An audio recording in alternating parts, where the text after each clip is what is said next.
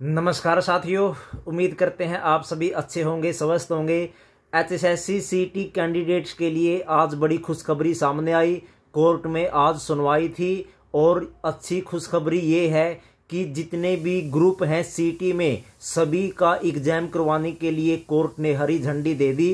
अब सभी 41 के 41 ग्रुपों की जो एग्ज़ाम है वो हो सकेंगे, लेकिन एक जो नेगेटिव न्यूज़ है वो ये रही कि ग्रुप नंबर छप्पन और जो सतावन है, उन पर अभी भी सटे जारी रहेगा, लेकिन छप्पन सतावन को छोड़कर बाकी जितने भी ग्रुप हैं उन सभी में अब जो एग्ज़ाम है वो हो सकेगा तो ये भी एक बड़ी जो खुशखबरी है कैंडिडेट्स के लिए कही जा सकती है।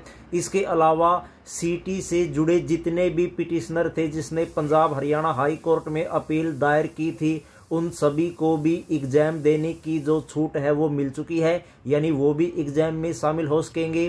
तो दोस्तों, बड़ी अपडेट है, अब जितनी भी वैकेंसी आनी है सीटी बेस पर, लगभग अट्ठाई हज़ार के करीब वैकेंसी होगी उनका रास्ता साफ़ हो चुका है।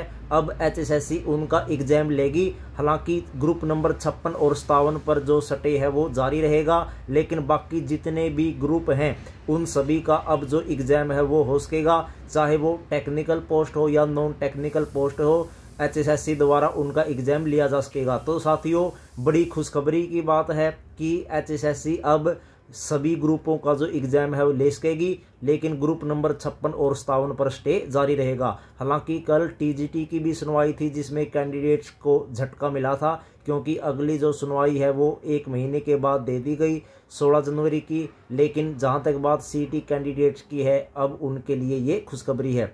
देखने वाली बात होगी दोस्तों एचएसएससी द्वारा इन ग्रुपों का जो एग्ज़ाम है, कब तक लिया जा सकेगा और कब तक ये वैकेंसी पूरी होगी। धन्यवाद।